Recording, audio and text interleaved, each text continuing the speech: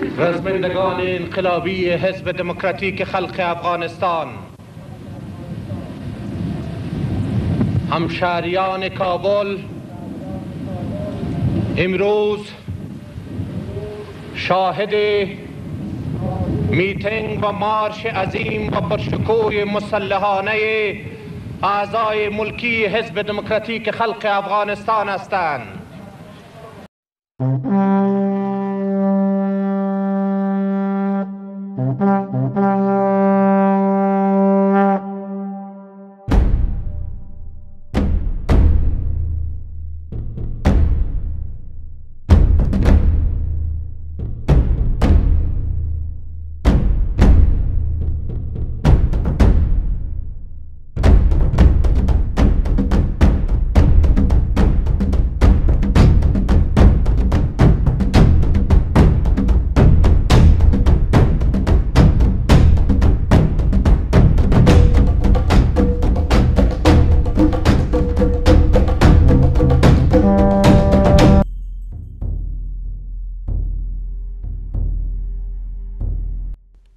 سلام. محمد عمر کمال هستم و در برنامه امروزی پیرامون چگونگی پیروزی حکومت دکتر نجیب الله در جنگ جلال آباد صحبت خواهم کرد.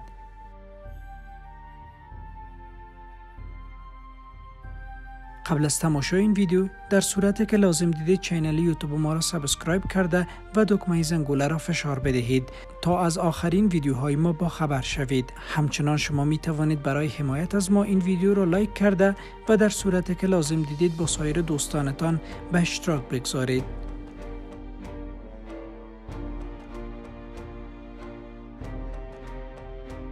پس از خروج نیروهای شوروی ایالات متحده آمریکا، پاکستان و مجاهدین افغانستان انتظار داشتند ظرف سه تا شش ماه حکومت دکتر نجیب الله سقوط کند. در واقع حکومت دکتر نجیب الله از توانایی نظامی بالایی برخوردار بود و کمک های نظامی شوروی به افغانستان این کشور را حتی پس از خروج نیروهای شوروی مقتدر نگه داشته بود. در آن زمان افغانستان 1567 تانک 828 نفر بر زره پوش 126 جنگنده به مفگن مدرن و 14 چرخبال تهاجمی داشت.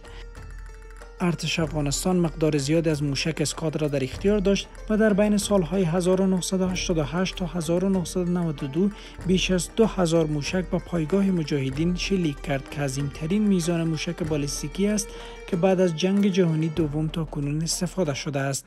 در آن زمان شبه نظامیان طرفدار حکومت نیز حضور داشتند که اصلی ترین ملیشای آن جنرال دوستان بود و حدود 40 هزار جنگجوی محلی عمدتا ازبک ها بودند زیر اثر وی بود. جنرال دوستان در آن زمان مستقیم از رئیس جمهوری افغانستان دکتر نجیب الله دستور می گرفت. در آن سو مجاهدین نیز از کمک های پاکستان عربستان و امریکا سود می بردند و کمک های تسلیحاتی و مالی امریکا از طریق پاکستان به مجاهدین افغانستان می رسید که قسمت اعظم آن به حزب اسلامی افغانستان به رهبری گلبدین حکمتیار می رسید و در این میان کمک های مالی عربستان نیز به اتحاد اسلامی افغانستان به رهبری عبدالرب رسول سیاف می رسید. گفته می شود راه اصلی حمله به جلال آباد شهر مرزی افغانستان جنرال حمید گل رئیس اسبق سازمان اطلاعات ارتش پاکستان یا آیسای بود. و با ترغیب بینظیر بوتو نخست وزیر پاکستان و سفیر امریکا در پاکستان زمین اساس جنگ شد.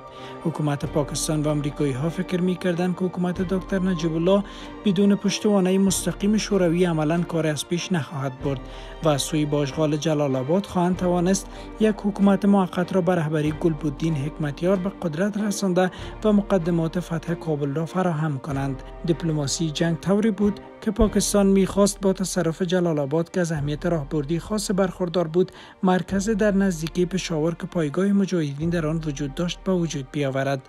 محاسبات اشتباه جنرال حمید گل بینظیر بوتو و سفیر امریکا در پاکستان مقدمات شکستشان را فراهم کرد و ضربه محکم بروحی مجاهدین افغانستان در آن زمان وارد کرد. به تاریخ 5 مارچ 1989 میلادی محاصره آغاز شد و حمله به وسیله جنرال حمید گل سازماندهی شد. حدود ده هزار نفر از نیروهای تحت فرماندهی حزب اسلامی افغانستان، حزب اتحاد اسلامی افغانستان، جنگجویان عرب با پشتوانه سازمان اطلاعات ارتش پاکستان یا آیسای به جلال آباد هجوم بردند. نیروهای تحت فرماندهی احمد شاه مسعود در تلاش بودند تا شاهراه سالنگ را که به نوع شاهرگ اصلی مالات حکومت افغانستان بود مسدود سازند. که البته با تلاش های فراوان موفق به انجام این کار نشدند. از سوی هم گفته می شود از آنجایی که مطابق برنامه در صورت پیروزی مجاهدین قدرت در جلال آباد به دستان نیروهای حزب اسلامی می افتاد احمد شاه مسعود تمایل چندان به پیروزی مجاهدین در جنگ جلال آباد نداشت. هرچند افراد تحت فرماندهی وی تلاش های زیاده برای بستن شاهرای سالنگ کرده بودند. مجاهدین در آغاز جنگ پیشروی هایی داشتند آنان به پیشروی از سوی تورخم به فرم غازی آباد و حمله به میدان هوایی در جنوب شهر و حمایت نیروهای نیرومند توپچی پاکستان دستاوردهای موقتی داشتند و رحیم وردک مسئول نظامی محاذ ملی پیر سید احمد گیلانی آنان را رهبری می کرد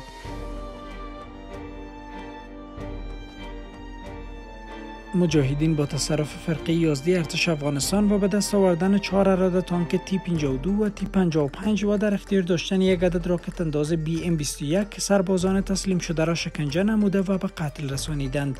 با انجام این کار روحی سایر سربازان متحد با حکومت افزایش یافته و آنان تصمیم گرفتند تحت هیچ شرایط تسلیم نشده و به جنگ ادامه بدهند. قرارگاه نیروهای پاکستانی در فارم غازی آباد تأسیس شد و ارتفاعات سمرخیل الا ترخم تبدیل به پایگاهی شد برای جنگجویان عرب و عمدتا القاعده.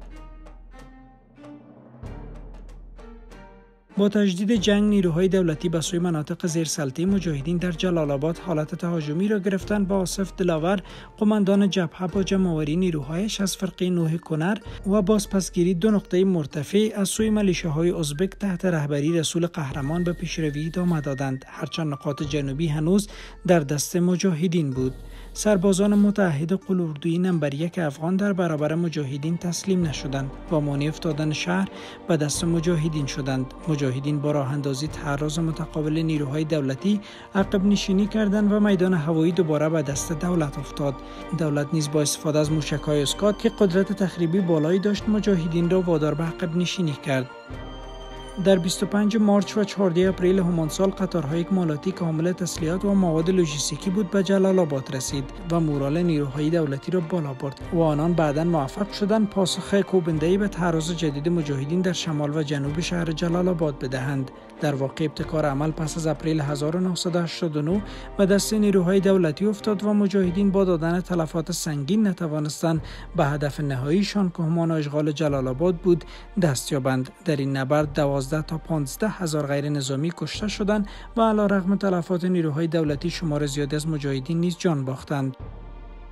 با شکست مجاهدین در جلال آباد و قدرت نمایی حکومت دکتر نجیب الله پاکستان پی برد که توان نظامی افغانستان علا رغم خروجی نیروهای شوروی خیلی ها بالاست و تنها راهی که می‌توان حکومت دکتر نجیب الله را از هم پاشاند رخ نکردن در داخل نظام و از بین بردن سیستم نظامی این کشور است. به نگاه دیگر مجاهدین هشت گروه از قوای سرحدی پاکستان با پشتوانه استخباراتی CIA و ISI بر جلال آباد حمله کردند اما در برابر حکومت دکتر نجیب الله شکست سنگینی را متحمل شدند. محاسبات نادرست مجاهدین که فکر می‌کردند به یک بار از یک جنگ گوریلایی می توانند به یک جنگ تعارفی را آورده و با نیروی مجهز مجرب و بروحی افغانستان به جنگن مقدمه شکستشان را فراهم کرد. با این شکست از اعتبار مجاهدین کاسته شد و قدرت استخباراتی و نظامی پاکستانی زیر سوال رفت و جنرال حمید گل از سوی نخست وزیر پاکستان بعدا برکنار شد.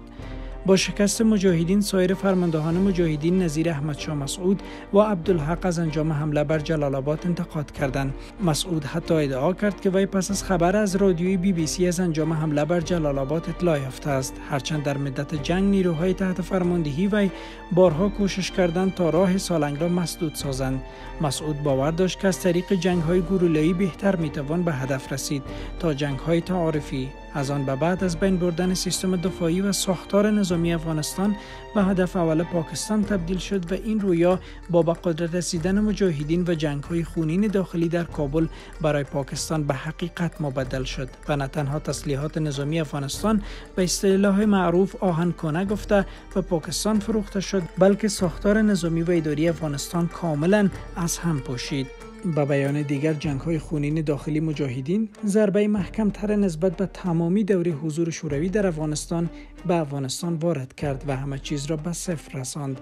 هرچند با شکلگیری گروه طالبان و تصرف کابل مجاهدین الا حملات 11 سپتامبر 2001 از قدرت کنار زده شدند. اما ما تا امروز داریم تاوان از بین رفتن ساختار نظامی آن زمان را می‌دهیم و دولتی که پس از موافقت نامه بن همه چیز را صفر شروع کرد با گذشت سالها نتوانسته است آن خلای بزرگ را پر کند.